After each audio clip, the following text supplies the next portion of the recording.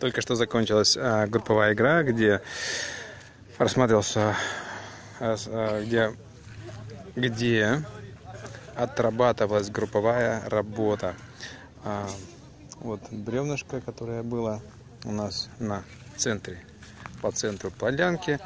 Два кольца, одно сверху, другое снизу. И эти кольца а, управлялись лесками, лесками, да, и став по кругу, группа должна была скоординировать движение таким образом, чтобы это бревно можно было додвинуть вот, э, 20 метров по земле э, в центр этой ямки э, координировать движение. Самый простой вариант был, когда люди могли переговариваться, более усложненный, когда они уже без, без речи, то есть через мимику и через э, э, мимику телодвижения, таким образом это происходило.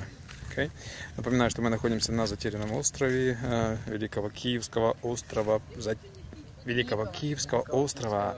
Мы находимся в городе Киеве. И все это было благодаря, все это дело организовал благодаря нашей Таисии, которая главный наставник, руководитель и тренер одновременно. И вдохновитель энергетический.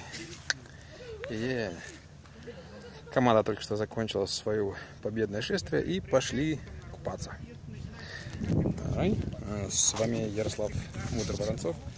А, не знаю, вот так. С вами Ярослав Мудр Воронцов. Снимаем.